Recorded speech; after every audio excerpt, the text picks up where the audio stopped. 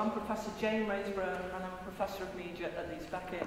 I'm very proud to say that I'm a colleague and friend of today's uh, talker, uh, Dr Dan Kilverton.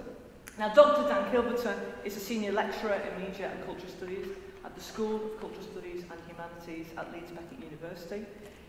He is one of the most prolific and dedicated researchers and he engages in action research. He's trying to make a difference to the world uh, through the work that he does. His research interests involve race, identities, new media, social media and sport. He's very critically interested in online fandom and hate speech in football and in fact he's just recently completed a chapter on the same that was published, was published yesterday? Yesterday. That's how live this stuff is. Um, but he's also interested in, in basketball and ice hockey, which I'm sure are not as good as football. I'm guessing anyway. Um, he is analysing the embedded nature of stereotypes in sports and in journalism and he's also trying to think about how the impact of those ideologies are on people who consume that kind of media. He's published four books, um, both all of them highlighting historical and current reasons for the absence of British Asians from football, and he's also presenting policy recommendations for, for reform.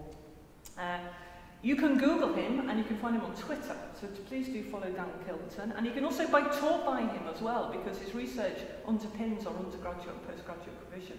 At Media and um, at Leeds University, just a bit of a plug. And today he will be speaking to us about challenging the British football exclusion. So over to Dan. Thank you. Thank you. That's the best introduction I think I've ever had. It's all downhill from here now. Um, yeah, thanks very much.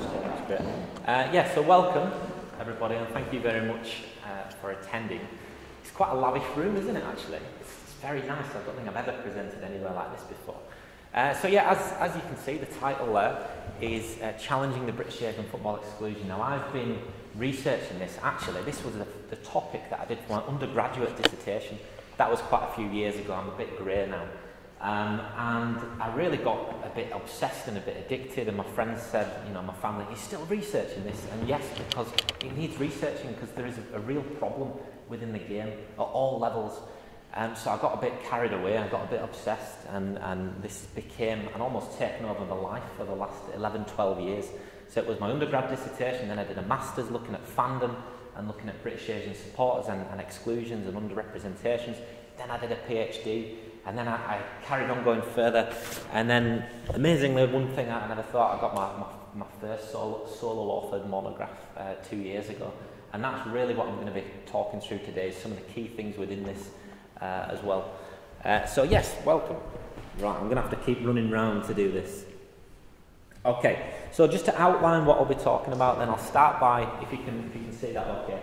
So looking at British Asians, now I best point out we're looking at British Asian males rather than British Asian females. A chapter within the book does explore British Asian females within, within football, but I've got to choose a, a particular focus, so I'm going to talk today about British Asian males in football looking at why there is an exclusion, I'm going to try and ask people in the room just to, to maybe chat to, to people next to them and just try and think up maybe a couple of reasons why there might be this underrepresentation or exclusion that we do see.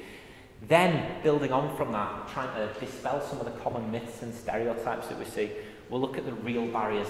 And again, I, I think within my work, I identified about 37 different barriers, a lot of which overlap. But th those are the themes that came out from the research, from the investigations actually interviewed well over 100 people from all levels of the game, from scouts, managers, coaches, professional players, amateur players, semi-professional players, parents, for example, as well, who'd supported their kids. Um, so we're going to look at the real barriers. I'm going to pick out a couple of those to talk through.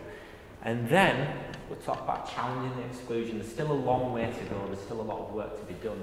And I'm going to talk, exactly as Jayne pointed out there at the start, about kind of action research and impact research, so things that I've actually done to try and challenge this and actually not just put words on a page, but actually put that into practice and really try and challenge these problems that we see in the game. Okay, so this is where I'm going to start asking you questions in a minute. Uh, the numbers, if we look at the, the, kind of population statistics and we look at we look at those, it's actually about 5.5%, 6% British Asian. So that's defined as uh, Pakistani heritage, Indian heritage, uh, Sri Lankan, Bangladeshi heritage. So that's the largest minority ethnic or BAME uh, group. That's actually double that of the black British population, which is at 2.69, about 2 million. So therefore, you could look at that and think, well, if you're looking at these figures, then you might imagine there to be at least as many British Asian players as there are black British players within the, the game of football. And that's not really been the case. Who's, who's a football fan in this room? Okay, that's this side. this side. So, decent crowd. Okay, you're in the right place. Um, those who don't like football, I'll try and make it really interesting. Um, okay, so you would imagine there to be at least as many numbers. I'm going to ask you the question now. If you've seen the little video which kind of plugged this talk, you've probably seen the answers actually changed because I actually did a little bit more research and looked at those right now with professional contracts. When I actually gave that the figure in the little video, uh, that was from six months ago, so that figure's changed. So try and think of a number, and let me try and put this into context. There's 3,700 players with professional contracts within English football. That's at the 92 football clubs at professional level. Over the age of 16, there's 5,200 players. Okay, 3,700 beyond the age of 18. Right, so how many British Asian professionals are there? Shout something out. Ten. Okay, that's right. well done. Well done. Okay. That's, you, you don't win a prize. You, you don't win a prize. Uh, but that's good. Usually a lot of people might shout out 50 or 100 or zero, something like that. But uh, no one's ever actually got the right So I'm a, I'm a bit taken back by that. But that's really good. Okay, but 10. Okay, if you think about that, that's what, 0.01%. I'm not a mathematician, but if, if you can figure that out. But it's very, very, very minuscule. So, again, as a, as a kind of an undergraduate researcher, I had an amazing lecturer who kind of changed my life because he inspired me to really look into this and, and challenge these ideas and stereotypes that we see. Um, and yeah, there's, there's, there's only 10. So, what are the reasons for that then? And that is what I really wanted to find out as well. So, these are the 10, the 10 players that we, we have at the moment, uh, players who are playing for, Leicester. A lot of these are actually about 1920. So they're not definitively made it. There are some on there who have Neil Taylor, who, who plays for Wales and plays for Aston Villa, uh, Easah Suliman, Danny Batth, um, Malvind Benning. These are players who, who you would say have got a career in the game. The other ones are just starting out uh, as well. If we just look at the broader picture of that, that's 10 out of 3,700 at professional level. That's, that's very, very small numbers.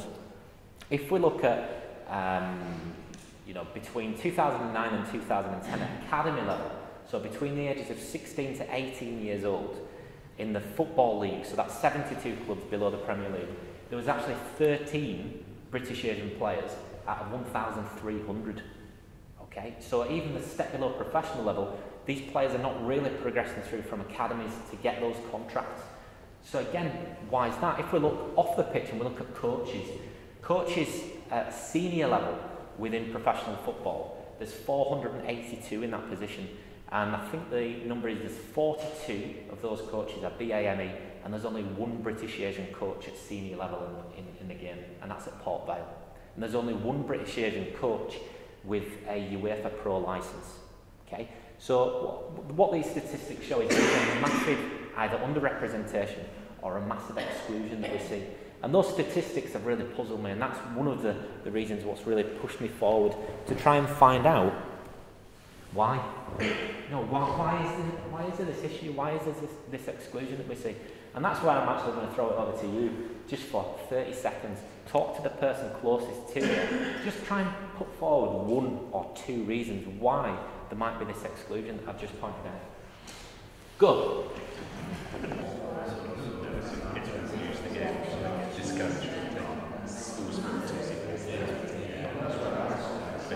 Okay, right, I'm going to stop there. I'm going to stop there. It's like an amazing seminar, everybody's chatting, I really like that. I'm going to go, I feel like if I go to Chris, I think that's cheap because he's actually doing a PhD on exclusion in football. So I feel like I'm, I'm going to go this side first, actually. What were you saying in this kind of group here?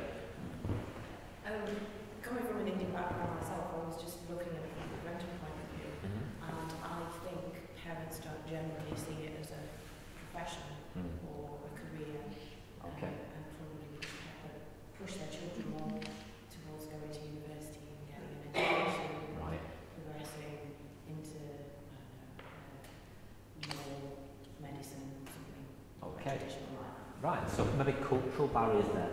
potentially. Okay, very good point. Yeah, let's go towards the kind of middle group there. Any any other ideas? We were talking about um, possibly religious backgrounds that if you were Muslim, um, you have quite a lot of commitment. That means you might not be able to attend training sessions and things um, that actually might get in the way, or possibly financial as well. Because Okay. uh, it takes a lot of money to actually get you through the academies and things, transport. Mm. If parents have to work, they can't necessarily take you, so that could influence it as well. Okay, so cultural, religious barriers again, building on the parental support as well. Good, good point. Uh, again, over over at the back area there.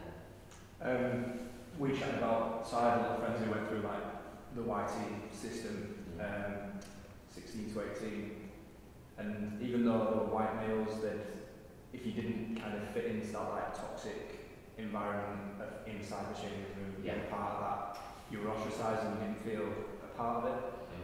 Um, That the lavish culture of football. yeah. Did you play football as well? yeah, Yeah. Go through that system. not through that system, no. not Okay, quite. but you've seen that, haven't you? You've played grassroots Yeah, yeah, football. It is very. One of the friends who was in that team plays for Swansea now with Nick Taylor, so Yeah, definitely. Oliver Bennett. Oh, right, okay. Yeah. Right, good. Right, good. Uh, yeah, we'll go up to that side. Anything else? Uh, I think just in terms of, if you looked at those players, most of them were associated with, broadly speaking, Midlands clubs, Mm. and there are large concentrations of Asian populations in those areas as well as elsewhere. But if you go to the grounds, the number of faces supporters is minimal. And Mm. many of those grounds are right in the middle of Asian business communities. Yeah. So it's that lack of connection in terms of passive interest. Mm. I think, for example, West Brom and Leicester have been very, very good at actually bringing players through. Mm. But if we go further up north, those clubs perhaps haven't been as bringing those players through. Bradford, Leeds, etc. Or even just getting them into the ground. Into the ground, yeah. Yeah. Spectator wise. Mm. I'll touch upon that there as well. And at the back, anything? Um, yeah, kind of lack of funding and general lack of opportunities directed towards these communities. Okay, right. So maybe a lack of opportunities there. Okay, good. Over the up to this side. Um, we covered um, cultural barriers, as the state said, that I come from um, Pakistani Muslim background, um, so I would see that children were more pushed into academia uh, as a career and as a life choice, as opposed to taking sports or hairdressing or beauty as a life Mm. choice. That those weren't seen as um, as a professional career choice. Yeah. Um, so I think kids were sort of pushed um, into going to schools, universities and getting professional jobs that would have seen more, um, perhaps a bit more, have a bit more the word? status about it. Yeah. Okay, very good. So picking up on those cultural barriers as well again. And then finally, I'm, I'm just going to say racism. okay, So it- which nobody's mentioned so far. Racism, racism, just mm-hmm. racism. Okay. talked- We also talked about particular sports and there's much greater concentration um, Asian people in cricket, for example. Okay, so maybe other sports competing against against football, cricket might be more popular. But then we've got things like institutional racism uh, bringing that in at, at the end. Um, and again, everything we just mentioned there, of course, they come up within the research, and I'll be picking up um, on a lot of the discussions there as well. So, one of the common sense rationales that I, I put forward, and you hear these all the time, and I've heard these from when I've been doing interviews with scouts and coaches, for example, and even British Asians themselves have said things about race, um, and I'm using that race a, as a social construction. There is no such thing as race from a scientific point of view. From a biological point of view, it is a, it's a myth, it's a lie. However, some of the scouts have kind of said things to, to suggest that British Asians might not be physical enough. British Asian men might not be able to uh, kind of compete against black players or white players, for example. So that's very much a, a racialised perception of British Asian bodies that we see in the. A, a really famous uh, football manager said in the 1990s, um, the British Asian frame is not that of a professional footballer. Maybe it's because of the diet they intake, but they cannot build up a physical frame. Okay, if we just unpick that a little bit, um, that's suggesting British Asians therefore eat curry or something like that, which is not healthy, and therefore they've got the wrong diet, therefore they're not physical. I mean, you've got to then think if that's somebody running a football club, what's their scouting recruitment system going to be like? Now, that's not an uncommon thing that I've heard. That's going back to 1996, but within my work, I've seen things and heard things which raise eyebrows, which are very uh, odd to be, to be saying in this contemporary time. But this idea of physicality does come into it as well. And there has been an internalisation of these stereotypes as well. I've actually interviewed, you know, young amateur British Asian footballers who do actually say the same things, and they even subscribe to this as well. Um, so, but there's some problems around that, obviously, and I'll kind of go through that in a moment. The next one is, is culture, and we've picked up on that. And again, that's always put forward the idea that education is more important than football or, or any other sports, or that within football there's very few role models there to aspire to, whereas in cricket, you know, people like Sachin Tendulkar, you know, even the, British Asian cricketers, we see Monty Panesar, etc. Those are role models that show that you can do that. Whereas in football, there's only 10 at the moment. There's never been that kind of prolific, high, you know, high profile uh, player playing for England from a, a South Asian background. So those are the, the, the common barriers that we see. Now, I'll get onto that, that uh, oral testimony in a moment. That's from a professional, uh, a professional club scout uh, who was in charge of deploying scouts out across the country to find players. Now, the common stereotype we see, and this goes all the way back to colonial times, and Yahal talks about this, the standard stereotype of South Asian people is that one of submissive or naturally placid or physically frail or weaker. That's been there and embedded perhaps within the, the white racial frame or the psyche, for generations, okay, smaller, slighter, etc. And that's arguably fed down to some of the scouts who are making, making these decisions to send scouts out to, to view different players. And when they view these players, are they viewing them fairly, or are they viewing them with a, a sense of racial bias in some way? So, this is uh, probably one of the worst um, comments I got back so basically my question was, you know, where are the British footballers? Why are there so few? And he said, they don't like physical contact. I think that's their problem. Why are they good at cricket? Why are they absolutely exceptional at squash? Why do they not participate in any other sports where there are physical contact? Rugby, football. I mean, they do participate, but not to the highest level. Then he, he wanted to uh, kind of summarise for me, uh, which was very kind of him. He said, well, really, it's, it's talent-wise, physical contact, and an understanding of the game. Okay? So this professional scout whose job is to send scouts out to different areas of the country, and this is a, a club within uh, an area with a, a densely populated British Asian area. Now, reading that, are those British Asian players at British Asian clubs um, going to be seen um, my answer would be no looking at that. So, you know, they don't like physical contact. That's homogenising entire communities together. Um, that's their problem. So football's not a problem. It's not institutional racism in any way whatsoever. Overt racism, not a problem. That's their problem. So it's British Asians who are the problem within this, within this context. Why are they good at cricket? Why are they good at squash? Why don't they participate in football or rugby? They do participate. They do. It's a fact. Um, you know, talent-wise, they're not good enough. Homogenously, not good enough.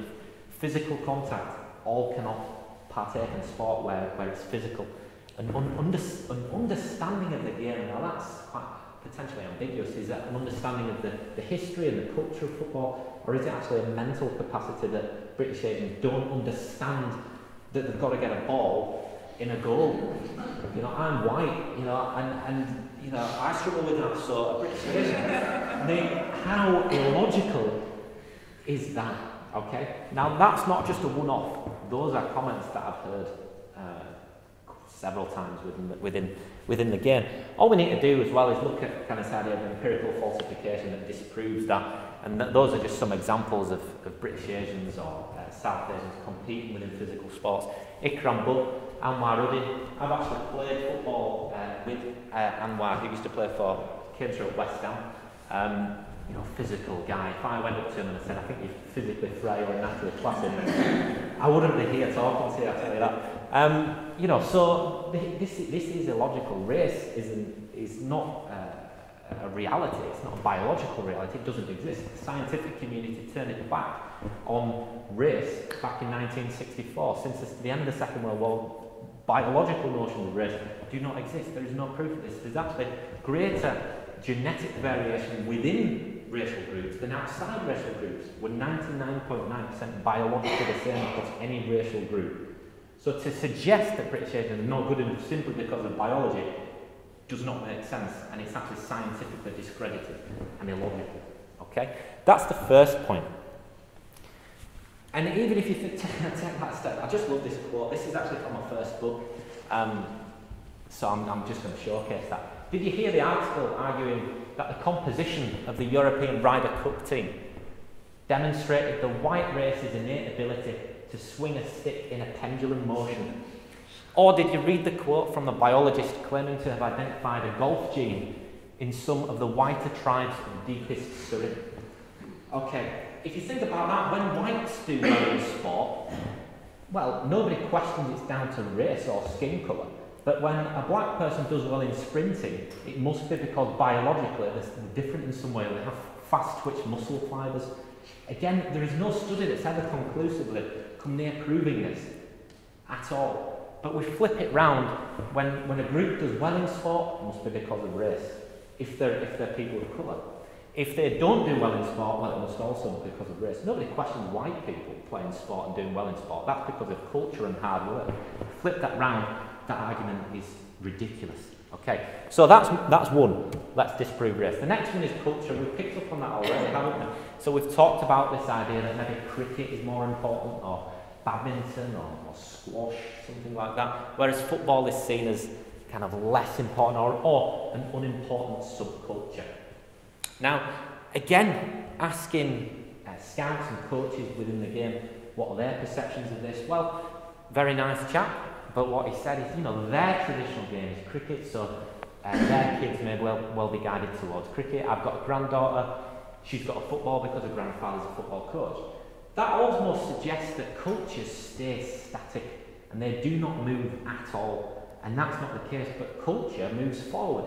It's progressive all the time. Think back to your grandparents, think to your parents, think to you. If you've got kids, think to them. Culture changes with successive generations. So to suggest that British Asians from the first generation to the second generation to the third generation still will not like football is untrue. Okay? Things change, things move on.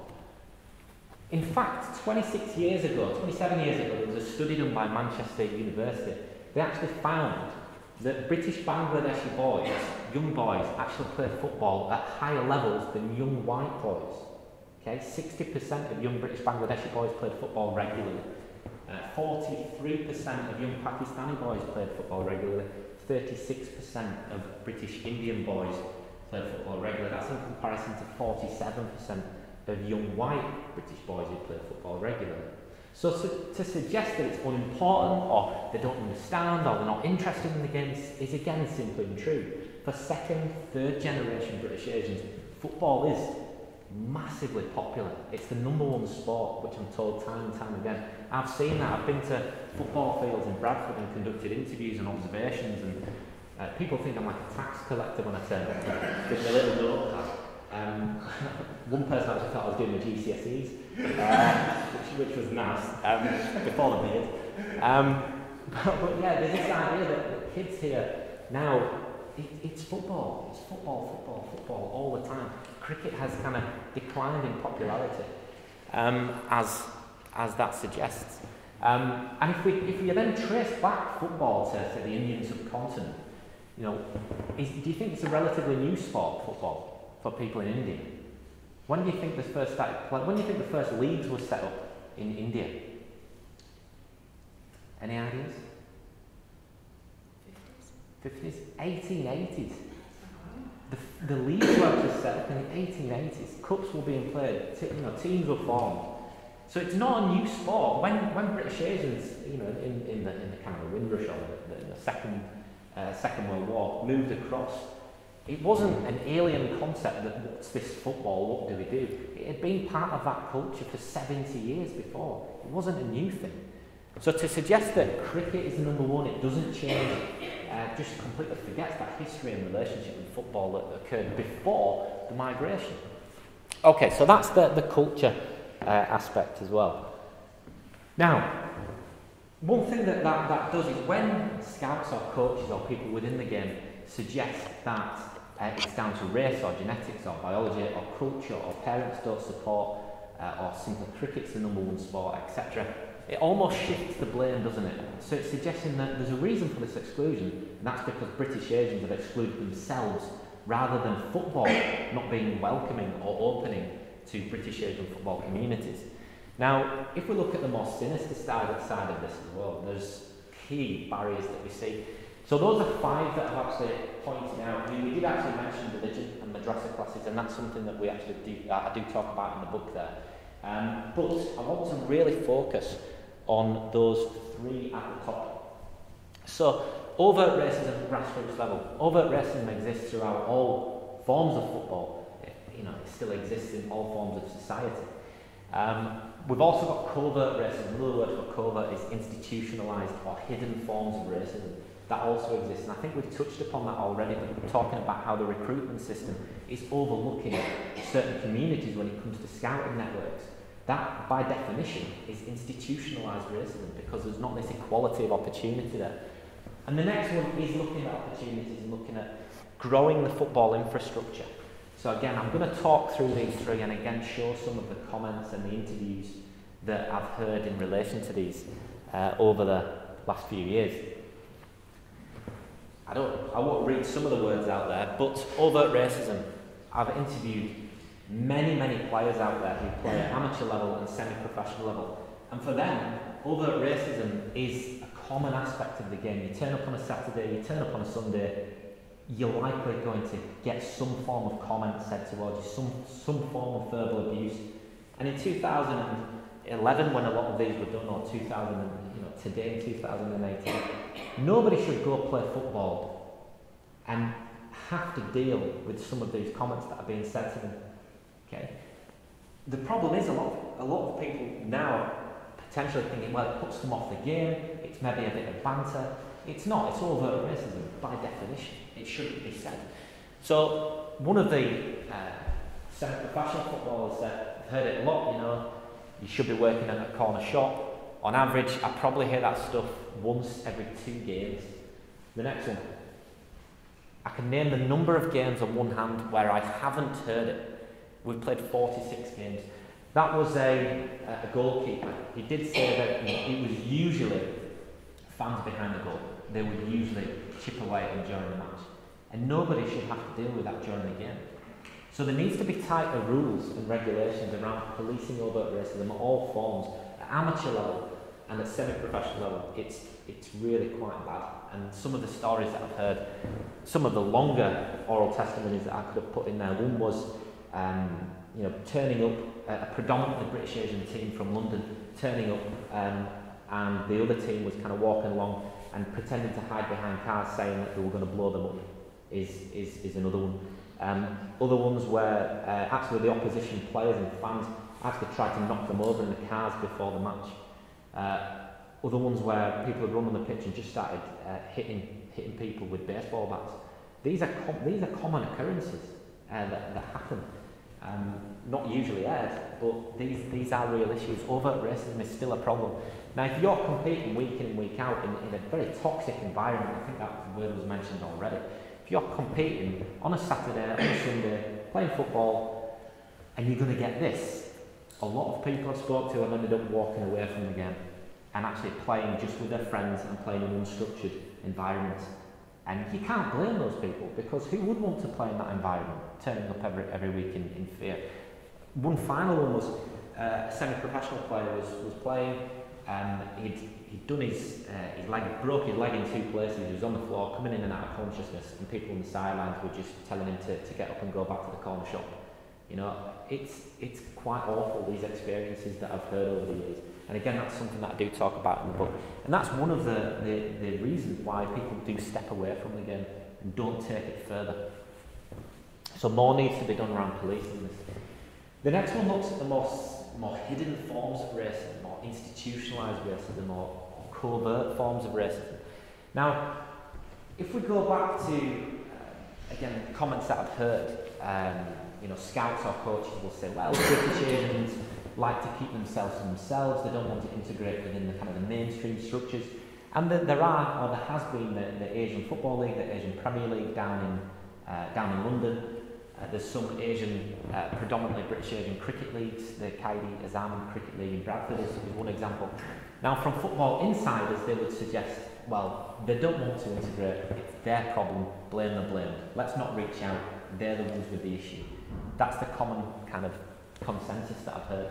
The problem is, though, is that because we have kind of separatist football clubs, or predominantly British Asian football clubs, due to these stereotypes that we're talking about, is that they remain really unlikely to be identified by professional scouting networks, um, which is a major issue. Now, again, when a white team is white in football, nobody says, nobody says, look at those whites, they like to stick together, that's a problem. But when a, a, a British Asian team is predominantly British Asian, the comment you get is, well, they like to stick together, they don't want to integrate, like it's their problem. But a football club represents geography, it represents friend networks, it's quite a normal thing. But surely the, uh, the recruitment system should visit these different places to find different players rather than sticking to the same leagues, which is what they do. So it's very rare that they'll actually go outside these, these areas. If there's established leagues and established networks, these coaches and these scouts will visit these established leagues and networks. And therefore that's uh, overlooking, you know, thousands and thousands of players over the last 10, 20, 30, 40 years uh, as well.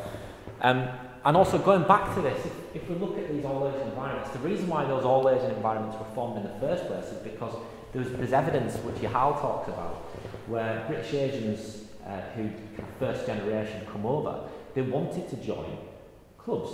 But as they went there, they were met with this non-welcoming exclusionary policy, they was verbally abused or physically attacked. They had no other choice but to set up their own clubs, their own environments. But these environments have kind of gone on, but they've been overlooked by the system. Okay? So it's about diversifying those scouting networks. And, uh, again, these are some of the uh, interviewees' responses in terms of scouting networks. So, looking at, uh, this is from Bradford, for example, we've, we've had talented players, the lads have done well in the leagues, but I've never seen a scout down to watch a match in 18 years. We've got certain clubs where they've got the best players in the league who score the top goals, not being seen. And, and this is, this is uh, one of the, the most shocking ones, really. This is from the Midlands.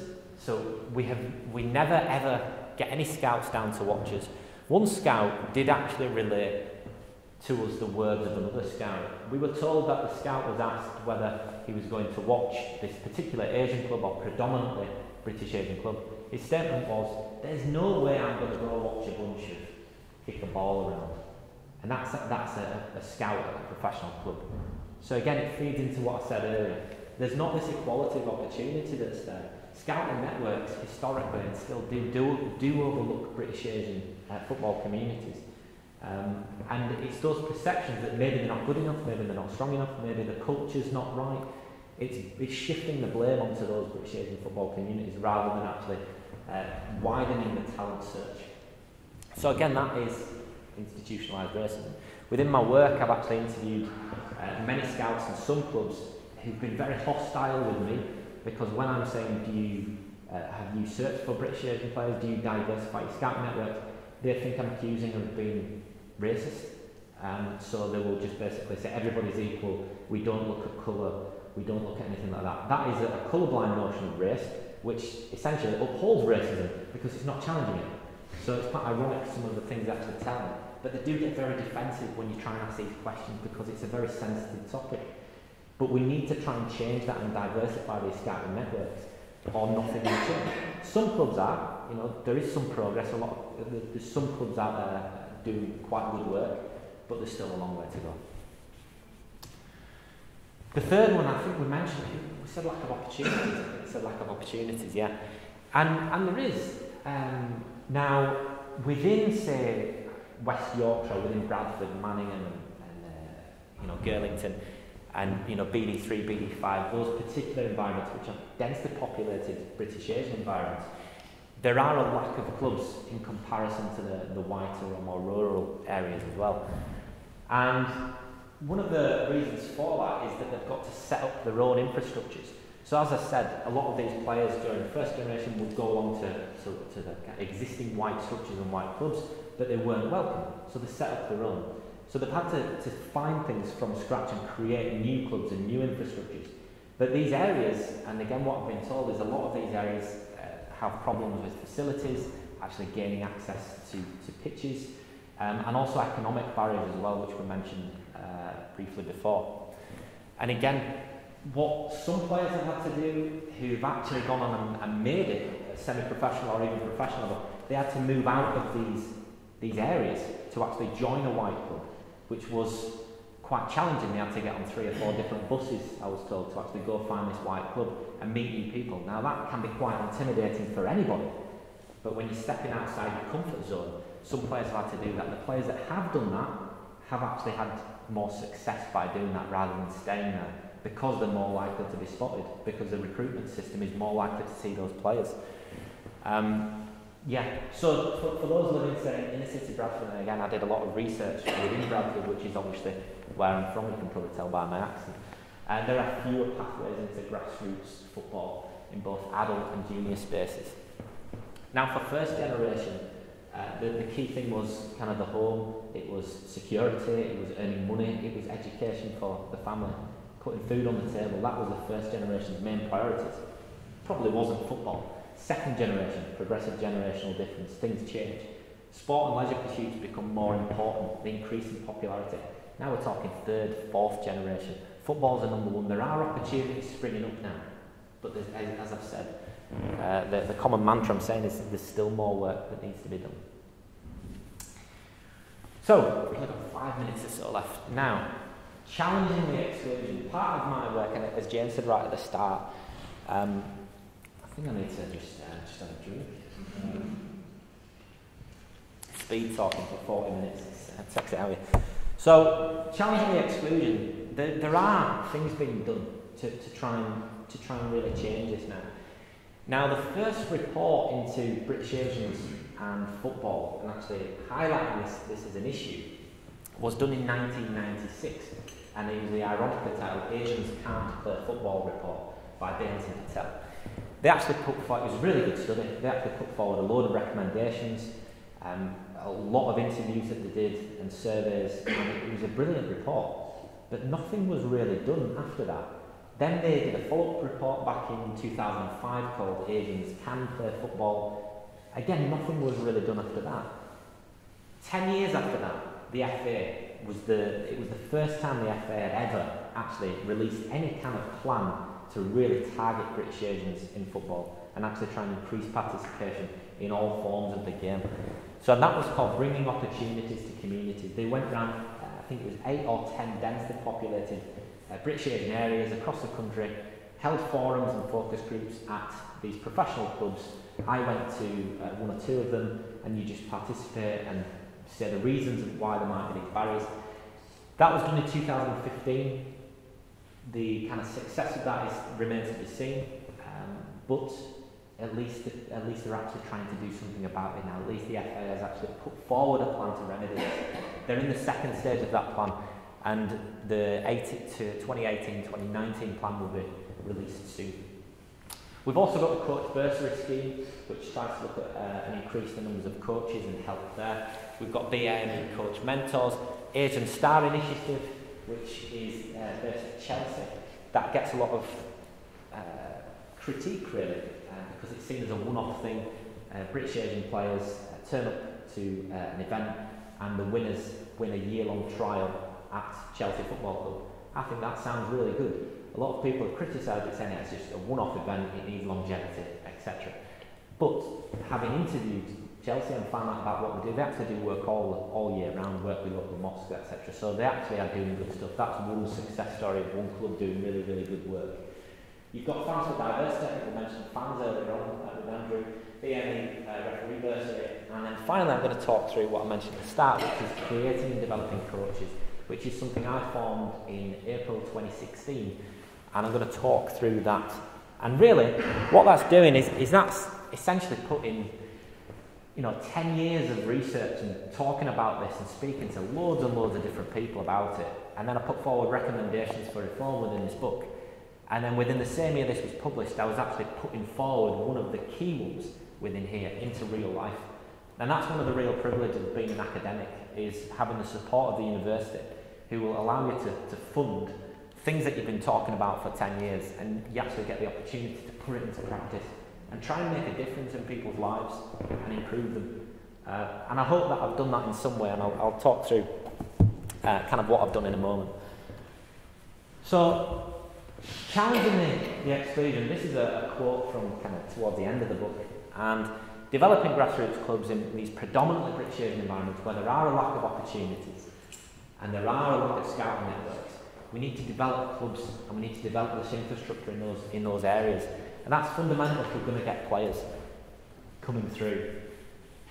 And again, one of the, uh, nice, uh, this is from an interview a few years back, you've got to create the, the right natural environment. You can't expect a revolution. It's a player evolution that we need to try and get more players into the game, playing football at grassroots level. And then from that, then we can go from there. But we've got to get the players playing in, uh, in organised structures, rather than just within friendship groups, outside the system, we've got to get these players coming through. So it's about creating these opportunities and making sure that they're sustainable. In order to create opportunities for players, who do we need? There we go. Okay, that's it. We need coaches, we need volunteers to actually coach these, these kids uh, at all ages. We need that. So, therefore, as a researcher, I've spent a long time looking at participation and players and, and the barriers that players face in getting into the game. Now I'm looking at coaches and the barriers that coaches face because that's one of the key problems. We need more coaches to therefore allow opportunities for these players. So then I've got to start thinking I need to investigate the barriers that coaches face. So that's what I, that's what I started to do. So the last maybe three years, I've been looking at the, the barriers towards black, Asian, minority ethnic coaches, and I've just published something around British Asian coaches and the barriers that they face as well. The three things that we'll highlight is, is access into the game, okay, and networks. It was racism and stereotype and this perception that British Asians uh, can't coach or are not good enough simply because of their appearance in some way. Uh, um, qualification, um, things like that. There's this idea that some people have said to me, they feel like they're suspicious of them in some way, what, what are they doing here? Um, which is a form of inferential racism.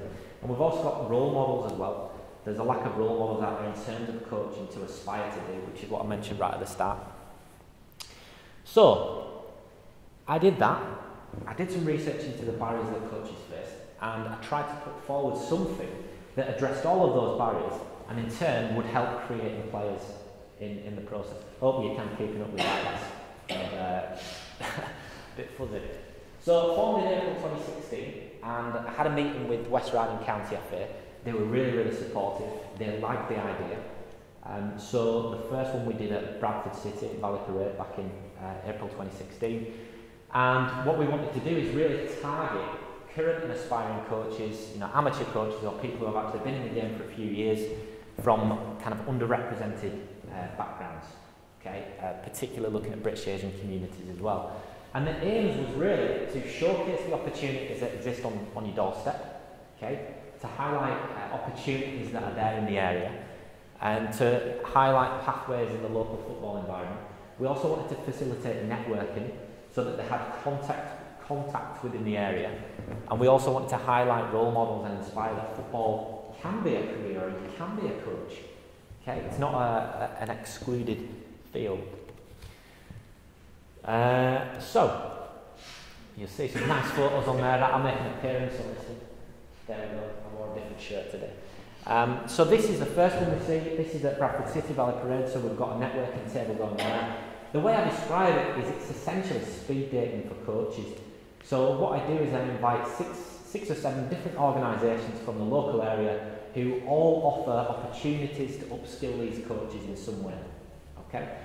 Um, and then I go around with a whistle, you know, keeping the football thing like a referee, and every 10 minutes I blow the whistle, all the coaches get up and move to the next table, and then they do that for about an hour, okay? And then at the end of it, all the coaches, I've got all the information from all of these six different organisations, and they've got these contacts, they've got the numbers, and they can take these opportunities further from there. So really, it's speed dating for coaches, and how we usually start is with kind of a, UEFA A or UEFA B licensed coach who has succeeded in the game, who is from an underrepresented community, who can showcase that you can do it and be very, very positive and inspire these coaches as well.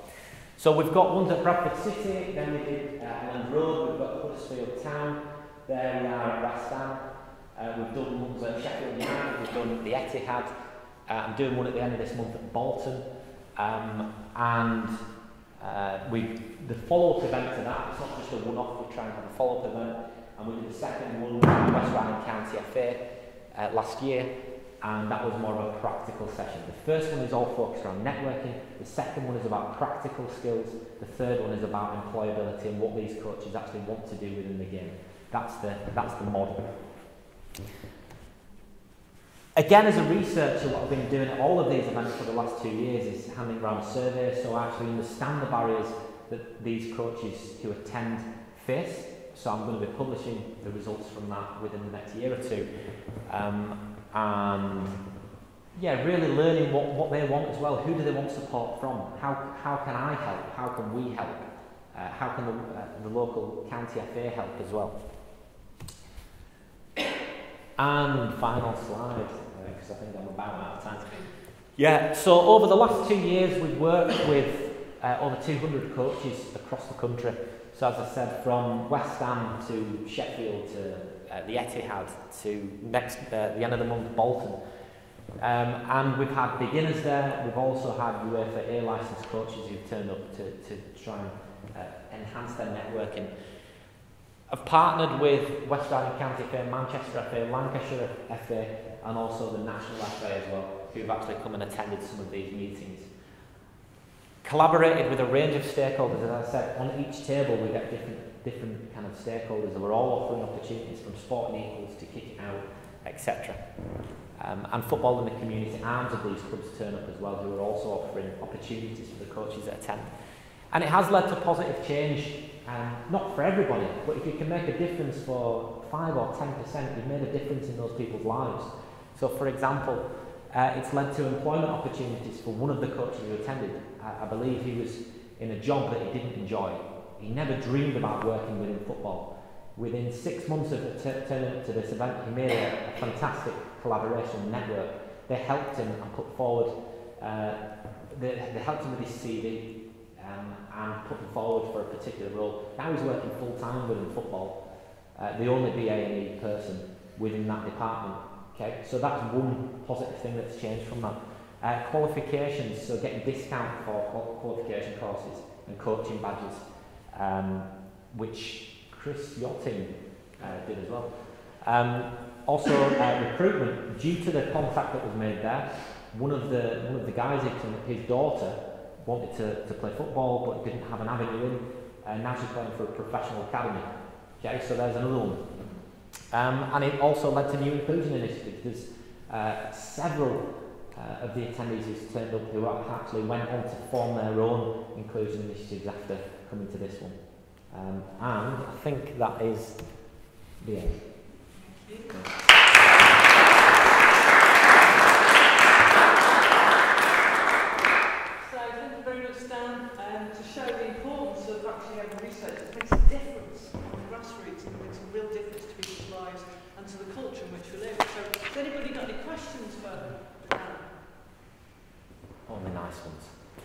Please.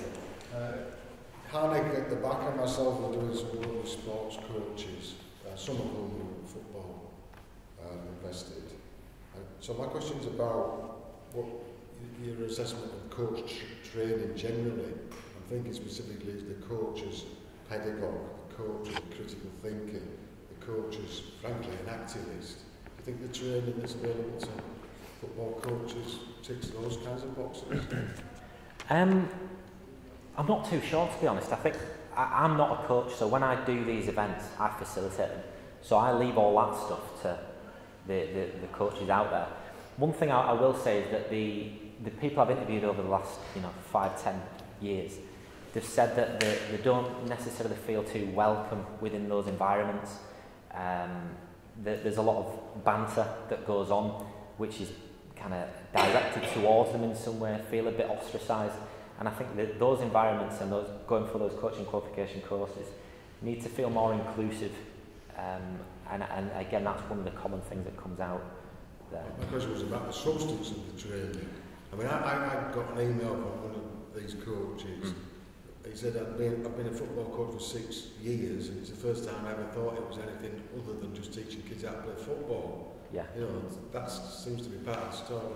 Oh, yeah. I mean, they obviously become role models as well, don't they? The, the kids but can look up to... You have to be thinking as an educator, don't you? Yeah.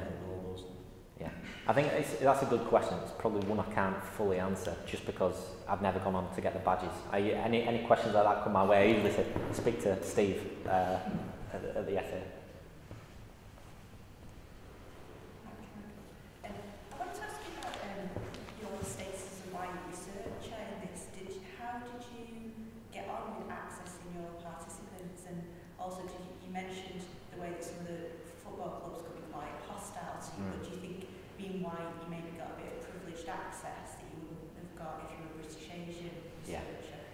Yeah, that's in chapter two. Um, sorry. it's, uh, no, It's- It's a, it's, yeah, it's a good question, um, and I've, I've had that before. So I think as, as a white researcher, when you are interviewing uh, a white football scout, you do feel like the guard is down, and they, they almost think that they're on the right wavelength or the same wavelength as you. As you. Um, if that researcher was uh, BAME, arguably they'd be more defensive in terms of what they're saying. On the flip side, yes, I think that when, when I first started entering the field and I didn't have many contacts, I would interview the players, for example, and one of the questions what I'd, I'd ask you after you warmed up into the interview and got that rapport is, have you ever faced any form of racism or racial abuse in some way? And some, some players in interviews will kind of shut down at that and not really want to go into any detail whatsoever and be quite defensive. Again, if I was a BAME interview, interviewer, they might think I could resonate with that in some way. Um, I understand that as a, as a white researcher, I've not experienced racism to, to any extent like these players have. Um, so the, the type of data that you get might not be the same. Um, but as I've been doing this for, you know, 2007, so 11 years, I know a lot of people within that network now, and some of them have even said, "Wow, you're almost British Asian now." So you know, that I think they've kind of accepted me. And as a researcher, you go beyond just researcher interviewee. You almost build up a, a form of friendship. So there's a lot of people within the game that I'm fairly close to, and I would call them friends now. I was just wondering, kind of through either recommendations you're or through research, you've kind of heard of any initiatives as to how they are trying to keep racism out of kind of grassroots level? I know Kick It works really well in terms of professional and semi-professional, and I know it does go further, but quite often, say on a Sunday afternoon, the only person who's there is the referee and maybe a linesman. Mm. Have they put anything forward for how they intend to get it out? Because that's the level where I feel personally we're losing a lot of players Yeah. before we even consider getting onto scouting level. Mm. If there's racism on a Sunday afternoon, you're just not going to continue playing. Well, That, that's a good question, and it, it's, it's quite hard to, to answer. Um, I, do, I don't think the, the systems are robust enough. I don't think the penalties are severe enough. It, it goes unchallenged, and I think sometimes there's, there's an emphasis on the accuser to actually try and prove that they've actually been verbally abused in some way. And that's, that's probably not the approach we should, should, be, should be taking. I think the referee should have a bit more support and a bit more power. Um, but I mean, that's, that's a whole new avenue for research as well. Um, uh, so, yeah, within, within there, within the book, actually, do put forward recommendations for actually how to police that in a better way. Those haven't been put into practice. Um, and I, I still think there's a lot of work that needs to be done, especially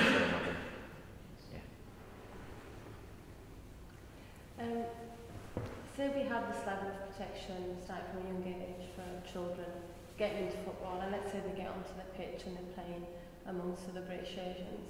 How are we sustaining um, the protection that we've had through the ranks against other players? Because when we still can't prevent other players from being either covertly racist. Um, I mean, in cricket, for example, you see a lot of sledging going on, and people make all sorts of comments. Moeen Ali's um, recent, what he put in his book. How do we prevent players from being racist to one another? How are we going to sustain that if, if and when we get more British Asians on the pitch? And not only that, there's a different culture in football in Britain than there is anywhere else in the world. And a lot of British Asians, and I speak on behalf of perhaps Muslim players, that might not subscribe to the culture in terms of the perhaps the fast cars and the drinking and the womanising that goes on. And I do feel that that might be, uh,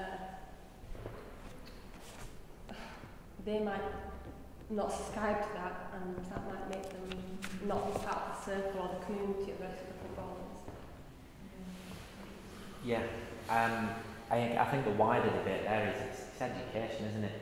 might be maybe not just a football yeah, thing. Yeah, so we, we, we've, the, got, we've got the coaching. We're, yeah. we, we're giving that kind of um, education to the coaches so we can identify the players um, based on their talent and pushing them through the ranks. But it's the other players that unfortunately are racist. Hmm. Um, and how do we get them to kind of leave that behind? Yeah. I think within football, we mentioned earlier, this is that idea of banter, and if it's on the pitch, um, even, you know the former head of FIFA did say that we can settle racism with a handshake. You know, leave it on the pitch, it's done. There's this idea that it's banter, it's, it's trying to put them off the game, and that's fine. But essentially, as we said, it is overt racism. So I think going building on the, the, the question before, I think one of the things I actually say in the book is that at the start of the season, the, the referee should really clearly state what is acceptable and unacceptable behaviour, just so all the players have heard that at the start of the, the grassroots football season, for example, what will not be tolerated. That would be one way to really put out there an educational message, um, so that they, they know it's not banter, it's overt racism, you're going to get sent off. Um, but I think, yeah, it, it's true, wider, you know, we, we do need a wider education around you know, what, what's acceptable and unacceptable today. And I think that in recent years we've almost taken a bit of a step back, haven't we? Which is worrying. And I thought we were progressing forward. Um, the far right's kind of crept back in again. Um, and it is worrying. But within football, I think the referee could do something there. Maybe the, the, uh, the website where the players go to obviously check the leagues and the scores, there could be messages on there. There could be some training online that these players could subscribe to there's, there's ways we can do it, but we've got to get buy-in to do that. We've got to change the It's that, I mean, I struggle, I mean, this isn't even in the football context, but I, I mean, I don't drink and I don't kind of do the whole, the, go, the going out scene. And I'm just wondering, as a, as a Muslim football, and yeah, there's plenty there in, in the Premiership, so I, and I don't know what kind of experiences they have, but if they're not sort of subscribing to that, um, do then do they feel excluded in their own in their own communities? So they might have done all the hard work to get onto the pitch, but then they're, not welcomed by their own team members. Mm. And football players, as you know, just get pushed from pillar to post as and when um, they're swapped between teams. And But they, yeah, I mean, one of the, some of the players that I spoke to have actually forged a career in the game I've said you have to be so thick-skinned to actually succeed in this environment because it's hard and you get those comments, those subtle kind of microaggressions but also the comments all the time. Um, and yeah, there- there's got to be a level of being thick-skinned, but it comes down to education. I think that's really important and that's probably, that message isn't there strong enough at the moment. Did you, did you find any difference between uh, Muslim Asians or, and non-Muslim Asians? Um, yeah, I mean, there's some there's some additional barriers that British Muslim players would face. So, for example, the madrasa classes that we mentioned earlier, they take place at the time when football academies have the training. Now, football academies who have spoken to said, said would you be kind of flexible in this? Uh, they said, absolutely not. We have training at that time and that's it. There are some clubs who've been flexible in their approach to madrasa classes to actually get Muslim players in, but generally, this, the, the line I'm told is football will not change. So it's down to those communities to integrate within rather than football changing. That's an issue. Um, yeah. Stop there, I'm afraid. Okay. But can we just uh, put it down again?